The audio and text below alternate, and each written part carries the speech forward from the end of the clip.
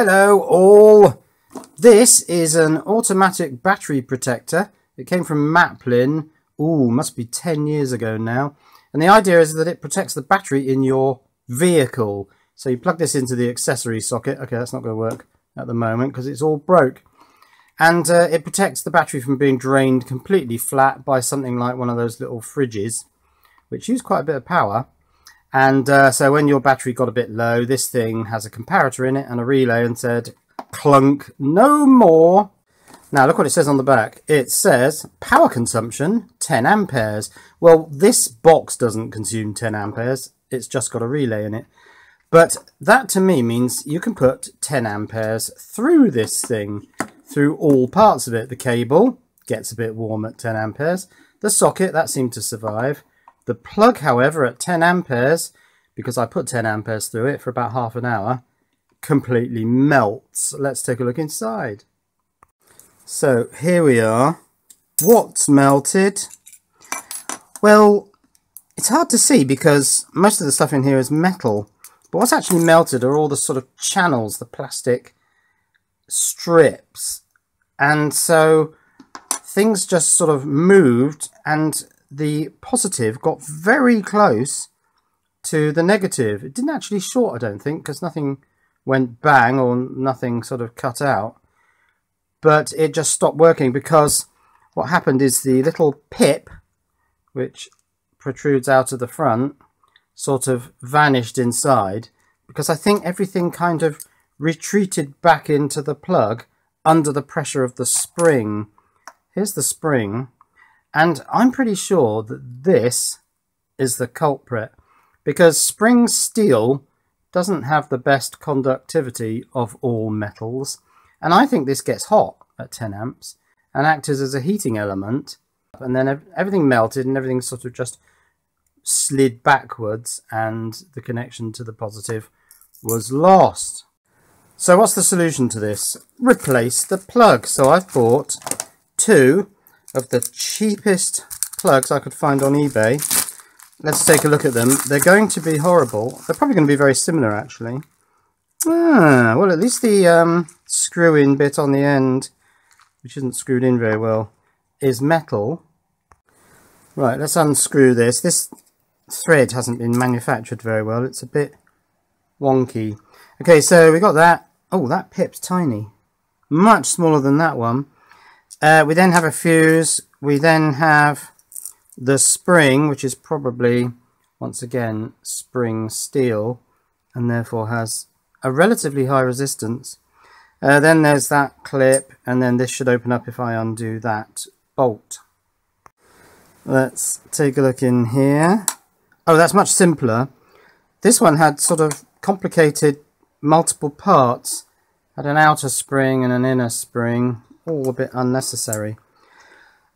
Now, I think the same is going to happen to this if I put 10 amps through it for half an hour, as happened to that. So I want to implement a mod, and since I believe it's the spring that's heating up and causing the problem, I want to provide a short circuit across the spring and yet still have its springy function. So here's my idea. Copper braid in the form of this solder wick, which was never very good. I found it quite difficult to use and have gone back to using my sucker. But I think this copper braid, and it should be collapsible. Yes, so it should be able to take movement. I reckon if I wrap that somehow around the spring, then we'll get the conductivity of the copper and the springiness of the spring. That should work. Oh, that's rather telling. The original plug, those are different lengths. Why are they different lengths? Uh, the original plug had a 10 amp fuse. This one has been supplied with a 5 amp fuse. Right, I think this cable is going to be too much hassle trying to pull it out of this uh, strain relief, so I'm just going to cut it there, I think. Strip that, and then work out how I'm going to solder it to the various parts of this, leaving that LED in place. Right, from this thing here, it appears that POS has the white stripe. So the question is, can I solder to this without upsetting the connection of that LED resistor? Uh, possibly not. Right, I'm going to go for, how do you do this? You just press that, don't you? I'm going to go for hot because I need to get this to take solder quickly. Come on you, that's it, let's do it. Oh, actually that solders quite easily. And I don't think the heat has got over to there, so that's fine. Let's solder neg, which doesn't have the white stripe, to this piece. That's gone on nicely. And pos onto here. I can't remember whether I'm going to be... Ouch, that's getting extremely hot! Uh, interfering with the plastic moulding. Now, can I tack this LED leg back on there without it all falling apart? Yes, quite possibly. Well, that's all gone in really quite well. Push that LED in. So that's pos, which should be white stripe. Yes, it is. Neg on the outside, although only one of these is actually connected. The other one is just a dummy. That's a bit naughty. Is that the same situation in the old one? Now for the clever stuff with the copper braid. So it doesn't need to be that long, just a bit over an inch maybe. I'm going to use two pieces and then I'm going to thread them up through the spring and just sort of bend them over the end. So like this and then fold them over. Oh, it's a little bit more springy than I had hoped. Right, I'll need the pliers because I want to have that fold so that it clamps this around the end. Oh, come on. Oh, it's all fraying now and splaying and going horrible. But I want two of those, so let's put the other one in and bend that over. And can we see that?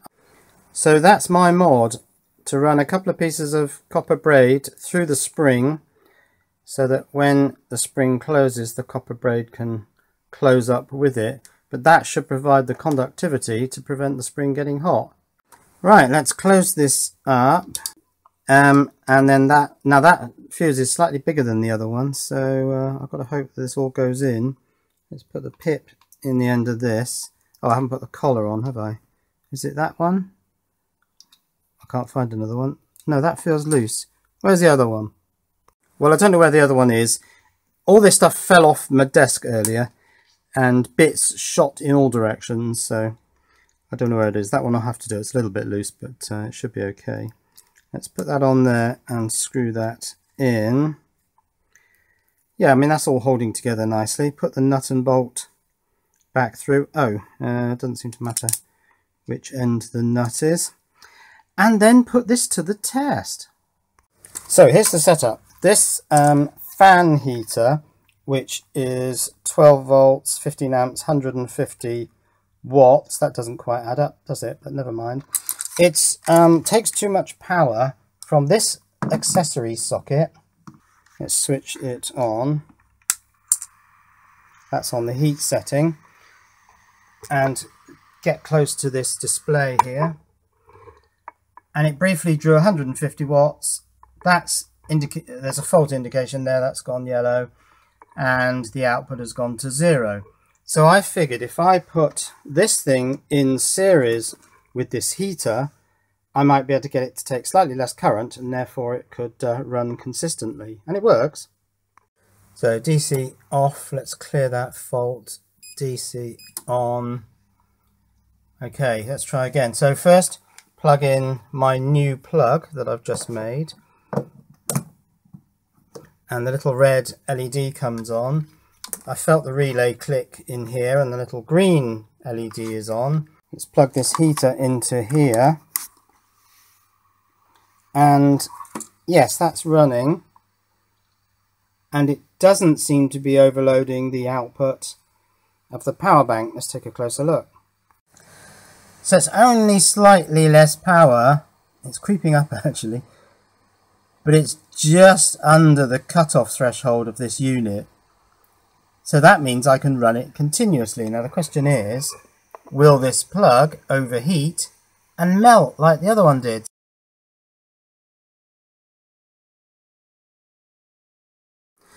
Yeah, it smells very melty. It's absolutely red hot on the tip there. This one, completely cold.